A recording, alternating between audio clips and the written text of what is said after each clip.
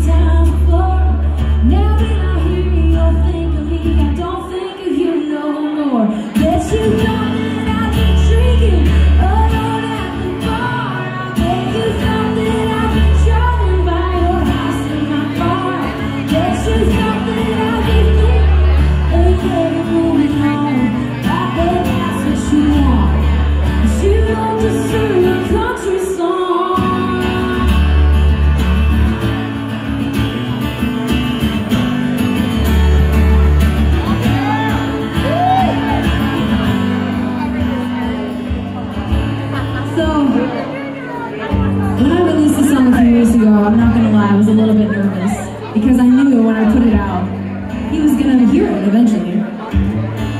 But you know what, that's alright, because he's gonna know exactly what the hell I'm talking about part right here.